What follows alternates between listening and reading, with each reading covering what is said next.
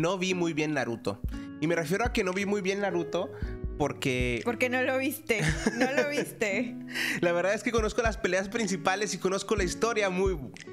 Creo que con relativa, o sea, como que sí la conozco bien, pero realmente que me sentara a ver cada uno de los episodios canon de la serie, no lo hice. Y la razón es que cuando empecé a los 13 años es que no había una manera fácil de poder obtener los episodios de Naruto, porque o tenía al canal 5 Cartoon Network que nada más tenían desde el episodio 1 hasta el final de los exámenes Chunin, ni siquiera terminaban bien los exámenes Chunin. No, siempre reiniciaban la serie. Ajá, y es como, güey, a ver, ahora yo al, leer el manga digo, Güey, eso no es nada, ni siquiera son 50 episodios del manga. Bueno, esa es una. Y la segunda era que la, forma de obtener Naruto era literalmente ir a una convención de anime, todos ahí olorosos y así oliendo a ovo, y este, conseguir los discos en CD. Ah, ¿CD? Era DVD. Así que al final me decidí leer el manga de Naruto yo solito y la razón por la que lo hice dije, bueno, o sea, no conozco bien la historia, tengo que saber bien qué pedo. Entonces, esto da inicio a mi review del manga de Naruto. Ahora tengan en cuenta que yo sé el final de la serie y sé más o menos la explicación de las cosas y los poderes en general, pero eso pues enriquece la experiencia de verlo en retrospectiva, ¿ok?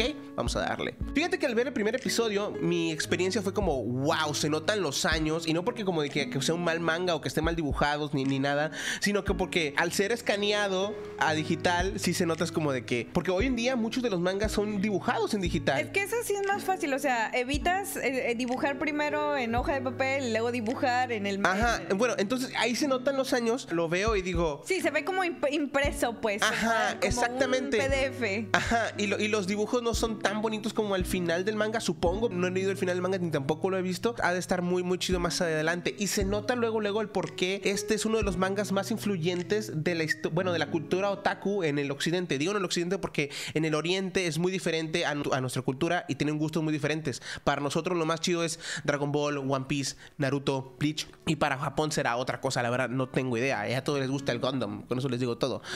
El Detective Conan. y Detective Conan, que literalmente casi nadie pela aquí en el occidente. Creo, que nunca ha dejado de estar en emisión también Detective Conan. o no sé si me equivoco. Fíjate que me gustó mucho la premisa de la historia y la razón por la que me gustó es que Naruto ya era un marginado desde el principio, no porque se lo mereciera, porque para nada. Pues era un niño cuando le pasó todo lo que le pasó. Era un bebé, literalmente. O sea, lo que realmente quería el cuarto Hokage es que él fuera el héroe de esa aldea, lo cual las personas no lo vieron así, lo vieron como un demonio, literalmente. Pero en vez de que se quedara todo deprimido, como los otros Jinjuriki, que no todos, ya sé que no todos estaban todos deprimidos, buscó una motivación, buscó reconocimiento. Y es por eso que de niño hacía todo un desmadre en la aldea. Inclusive desde el principio tu búsqueda es eh, lograr hacer Hokage. Cosa que dentro de la serie de Naruto, no contando Boruto, no sucedió. O sea, sucede hasta... Hasta, hasta esta, Boruto, ¿no? Ajá, hasta, esta marranada que vemos el día de hoy que se llama Boruto. Inclusive en el episodio 1, cuando descubre o le hacen saber que él tiene el zorro de nuevo colas adentro de su cuerpo, no se queda de, ay, qué culera es mi vida, ya valió chetos. No, en realidad al revés. O sea, esto refuerza su convicción todavía más de decir como, a huevo, tengo otra debilidad más o debilidad entre comillas porque realmente está bien pinche roto. Pero voy a dar, no lo entendía. O sea, voy a darle 13 años creo que tenía si no, estoy, mal. Y esto se refuerza, ¿sabes? Gracias a quién? A Iruka Sensei. Porque a partir de aquí, Iruka Sensei se vuelve uno de los pilares emocionales de Naruto. No saldrá mucho durante la serie, no tendrá mucha relevancia el cabrón, pero para Naruto sí tiene mucha importancia. Algo que yo quisiera aquí meter es que yo siento que Naruto no era tonto. No, para nada. Porque en la serie te lo ponen como que era el más bobo de su salón, que no hacía bien los exámenes y también era muy torpe manejando su chakra. Ah, luego, luego vamos a hablar de eso. Eh, porque ya voy como en. Más adelante se pone muy bueno, güey. O sea. Pero aquí también engloba mucho que, primeramente, es huérfano. Segundo, nadie estaba a cargo de él completamente. No. ¿Cómo iban a poner a estudiar a un niño? Como por ejemplo Sakura, que sí tuvo como su mamá y ahí todo el mundo. Ahí vemos también la diferencia entre Sasuke y Naruto, como dos personalidades completamente diferentes. Ya después hablaremos de eso. Pero yo siento que la falta de atención que tenía Naruto hacía que él se comportara como un bobo. A mí se me hace como también medio caca que el tercer Hokage nunca se hiciera cargo bien de él. Sí. Porque, güey, o sea, te lo encargó Minato, cabrón. Pero es que también es un Hokage, men. O sea, respuestas. Es como si, como si le dijeras al presidente, ah, güey, te encargo a mi chamaco, ¿no? Pero, o sea, no, pero recuerda que había una ley dentro de la aldea y se lo hacen saber de que nadie, que todo el mundo tenía, estaba prohibido de hablar acerca de lo que es Naruto y su naturaleza. O sea, güey, en vez de que lo, lo ayudes Ajá. y la chingada lo la marginas. Gente lo margina, claro, o sea. Y en vez de que ayudes con la situación, no. Hay que poner unas barreras pendejísimas, pero bueno, o sea, es la premisa de la historia. Eso le ayudó, eso le ayuda al, Al fin y al cabo, ajá. Tú mencionaste a Sasuke y eso nos da puerta a hablar del equipo 7 porque después de que ya pasa todo el, el episodio 1, logra hacer Jutsu clones de sombra y la chingada, pues viene lo del equipo 7. Cuando- El famoso equipo 7. Cuando volví a leer la introducción del equipo 7 de Sasuke, Naruto, Sakura fue de, oh, esto está re épico, ya casi se me suelta una lágrima y toda la fregada, o sea, estuvo muy, muy bueno. ¿Y quién les tocó como maestro también? El Kakashi, El. Kakashi, O sea, man. bueno, o sea, ya sabemos que Kakashi era el discípulo de, de Minato. Y con todo respeto lo digo, Sakura es muy pendeja. Y la razón por la que es una pendeja es que te, das, te estás dando cuenta que el güey que te gusta tiene un chingo de pedos emocionales porque nada más está así. Quiero matar a mi hermano. De que se quedó solo toda su vida, men. O sea, y no estoy diciendo que Sa- Sasuke es un pendejo, no. Yo estoy diciendo que Sakura es pendeja porque literalmente estás viendo que este güey tiene un chingo de pedos y todavía quieres como de que Sugoi, kawaii Sasuke, ah, ah. O sea, obviamente no le haces así, pero entiende a- mi punto. Y al, y al principio, Sakura solo quería a Sasuke por ser lindo o realmente lo admiraba por otras cosas. No, nada más por ser lindo. Eso o, lo hace más o sea, no pusieron nada como de que, ah, oye, es un gran ninja. O sea, nada más es como, es, es, es cool, ca- es, es cool, Sugoi y es, es guapo. Ahí está, es todo, es todo. Gran, grande. Sakura, pendeja, güey. Sakura pensando en mejorar la especie. Pero bueno. Pero dejando ella a un lado, quien me impresiona realmente después, o sea, es Sasuke y Naruto. Y te voy a decir por qué, mira. Sasuke es un puto prodigio, un genio. No quiere decir que no sudó la gota gorda para llegar ahí, porque sí lo hizo después de lo que le pasó eh, a su, a su clan y toda la onda. Sudó la gota gorda para poder llegar ahí. Pero me hace pensar, si él se hubiera quedado en la aldea, si por ahí hubiera ido a la obra, él pudiera haber llegado al nivel que Kakashi tuvo, porque recuerda que él siendo muy joven llegó a ser Jonin, y también, por ejemplo, al nivel de Neji, que también en su momento llegó a ser Jonin. O sea, muy fácilmente él hubiera podido llegar a, a ese pedo. Y lo que me impresiona todavía aún más es que Naruto, durante toda la obra, le estuvo pisando constantemente los, los talones en cuestión de power-ups. Inclusive todo el mundo estaba, estábamos diciendo más adelante en Shippuden de que él es más fuerte, o sea, Naruto, era más fuerte, más fuerte fuerte que que Sasuke. Ajá. Entonces, eso impresiona todavía aún más dentro de la obra en qué nivel o a qué nivel llegan estos dos güeyes. Es que creo que también la ventaja de Naruto era su cantidad de chakra. Sí, claro, eso hablaremos más adelante, pero este, es, es muy interesante. Y te digo algo, me volví a enamorar de Kakashi. Es facherísimo. Nada más verlo así como, oh, A ver, al principio... ah, su- es re fachero. Al principio todo el mundo nos enamoramos de Kakashi porque, como dijo Josué, es refachero. Pero creo que en el transcurso de la historia no solamente vimos sus valores, porque te acuerdas ese capítulo en donde habló de la escoria y que no sé qué. Bueno, aquí, aquí va mi punto, mira, está bien chido porque después de esto sucede lo de la primera prueba para estos cuates. Ajá, sí. bueno, La misión, eh, ¿no? Fíjate, hay algunas cosas que, que deberíamos analizar sobre esta prueba bien, bien profundamente y también nos dice mucho del personaje de Kakashi.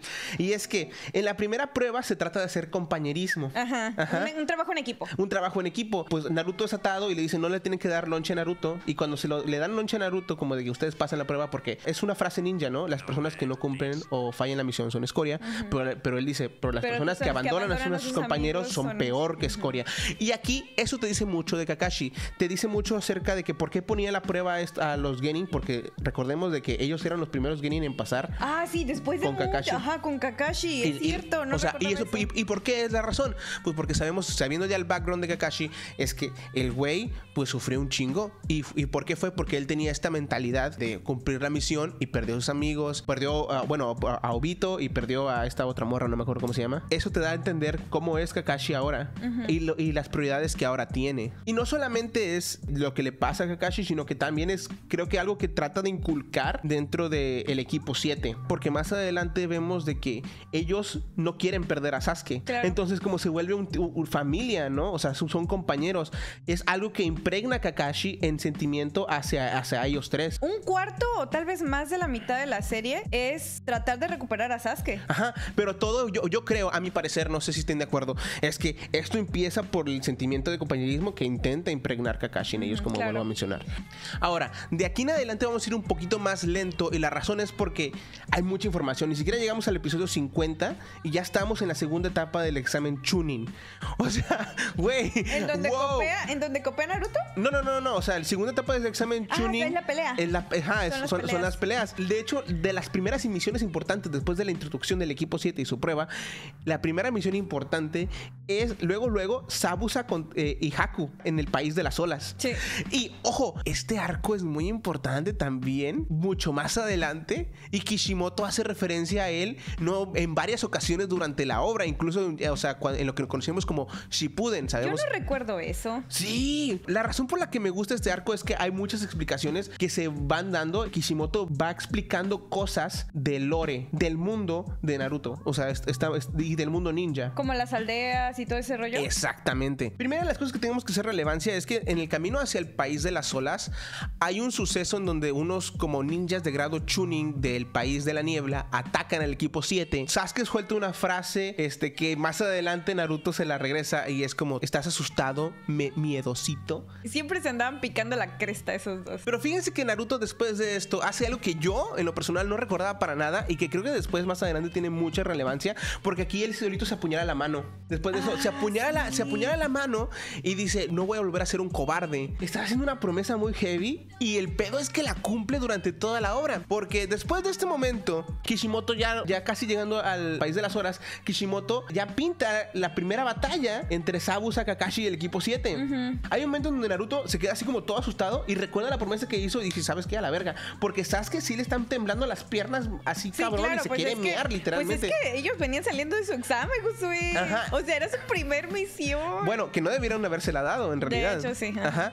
Entonces, llega a este punto y sabes que está así como, no mames, esta es una pelea entre Jonins, porque ya se están madreando este. Kakashi y este y Sabusa. Llega un momento en donde Sabusa le quita la, la bandana a Naruto de ninja y le dice como tú no mereces esto porque como no eres un ninja, o sea, un ninja es alguien que no tiene sentimientos, que se matan entre sí, y la verga. Ajá, O sea, sí. El vato, pinche Naruto, se abalanza contra Sabusa y todos dicen, güey, te, fuiste a suicidar.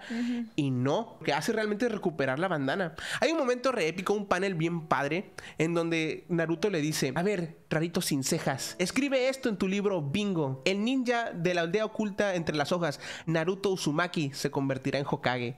¡Ah, Ah, so- y está el güey poniéndose la bandana, güey. Es como de que, a huevo, güey. he Y hay aquí Sin miedo al éxito. hay una de las escenas que yo recuerdo mucho en el anime, pero cuando lo vi otra vez en el manga, güey, qué, qué pinche inteligencia de este güey. Este güey siempre haciendo travesuras, de ahí viene su inteligencia. Porque, o sea, bien chido, hace un montón de clones para distraer a Sabusa, mientras él se convierte en un Dark Shuriken, esos grandotes. Y cuando Sasuke avienta el Shuriken para Sabusa, el otro se convierte en, en- en Naruto. Ajá. se vuelve a convertir en Naruto y le lanza unos, eh, unos kunais a Sabusa para poder liberar a Kakashi, porque recordemos que Kakashi, Kakashi ya estaba envuelto en, un, en una esfera De eh, amor. y fue un momento súper épico para mí, a mi parecer.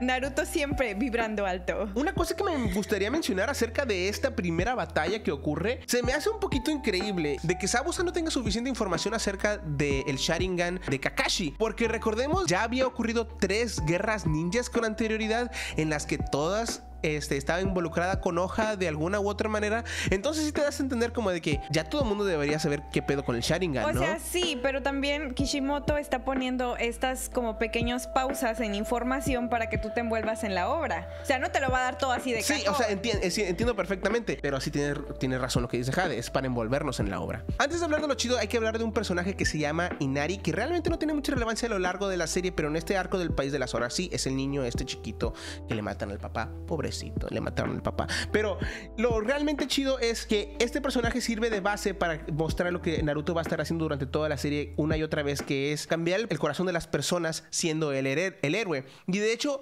hay una frase que él dice después de que Inari se enoja y la chingada, y él dice, voy a demostrar que en este mundo los héroes existen, cosa que va muy contrario a la ideología ninja en sí. Eso sí es cierto. Kakashi describe a los Anbu. Y los Anbu, pues digamos que como somos la eh, epítome de, de los ninjas, ¿no? Los ninjas de élite, por así decirlo. Prevenir es el deber sagrado de los Anbu, silenciosamente y sin temor. Ese es el mundo ninja. Es muy contrario a lo que está diciendo Naruto. O sea, Al principio de la obra sí te dicen que los ninjas son para hacer trabajo sucio sigilosamente sobre las sombras, ¿me entiendes? Bajo las sombras, perdón. Se podría decir que eran como que los sicarios de esos tiempos. No, todavía Porque más no. abajo, los matones. Ajá, y luego, o sea, sí tenían diferentes tipos de misiones, porque algunos eran misiones de guardaespaldas, misiones de asesinato, o sea, muchas cosas, ¿verdad? Pero al final nunca dicen que es un oficio de honor. Cosa que, que Naruto no lo ve así. No, Naruto, o sea, Naruto es una idea acá de los niños súper elevada de, bueno, Ahora, segunda cosa que quería mencionar es que después de la batalla de Sabusa em, hay como un pequeño entrenamiento, pero aquí nos, em- Kishimoto nos empieza a explicar más o menos un poquito más del chakra, que no lo vi- como que no lo había abordado bien todavía, y nos explica más o menos acerca del control, ¿no? Sakura nos los explica. Bueno, Sakura nos los explica, ¿no? Explica también este Kakashi que todo mundo tiene un límite de chakra y hay que saber administrarlo.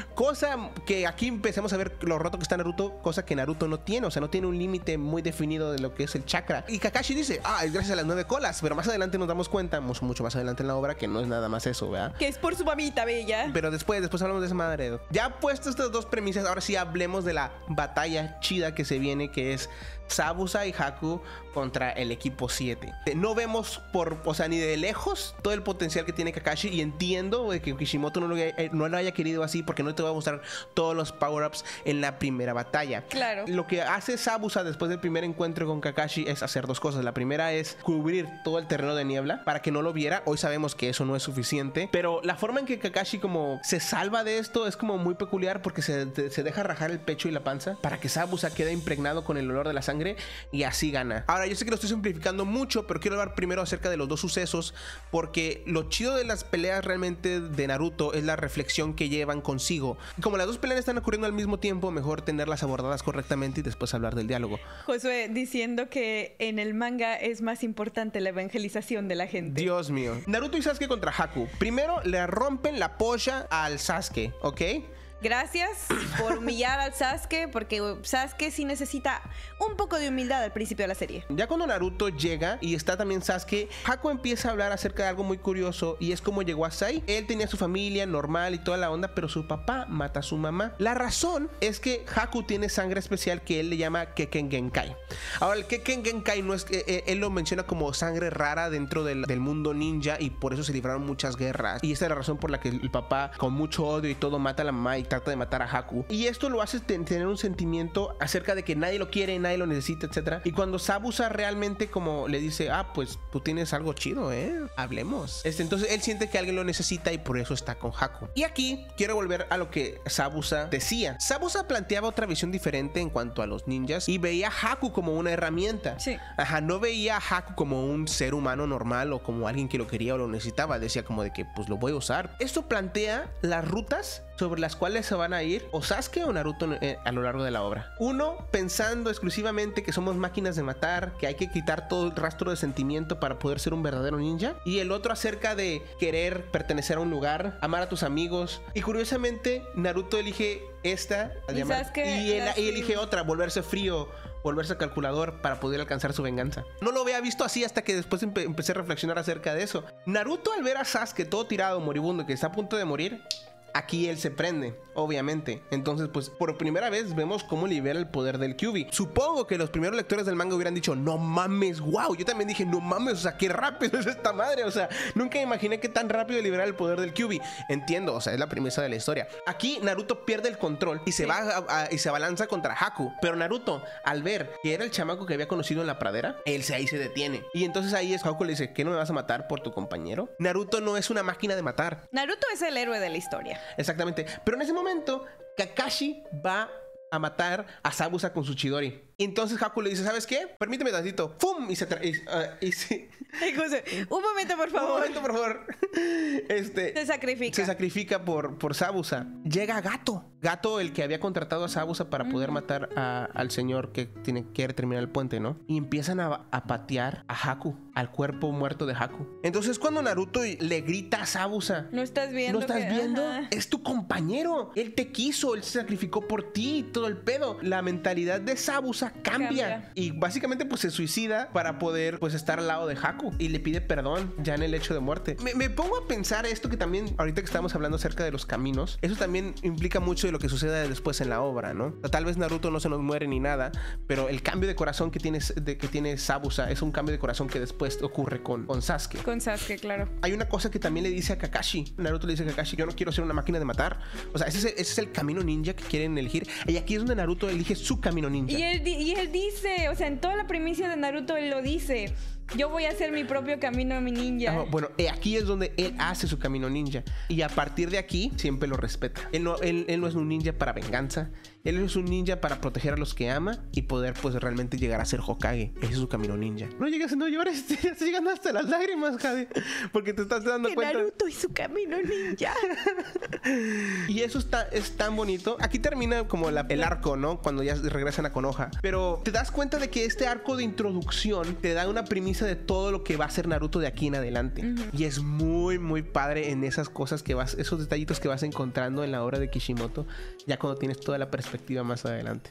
Así que chicos, muchísimas gracias por escucharnos todo este, este palabrerío del, de Naruto. Esperemos que les haya gustado. Si no me vieron hablar mucho es porque yo vengo a escuchar realmente. Sí, Jade viene como a apoyarme con preguntas y así. El que leyó el manga fui yo. Ajá, o sea, yo recuerdo partes de la obra, pero creo que me he animado a leer el manga. Sí, la verdad muy muy bueno. Muchísimas gracias por estar con nosotros el día de hoy. No olviden de suscribirse si ustedes no lo han hecho a este canal de JG Reviews. Y nos vemos a la otra. Bye.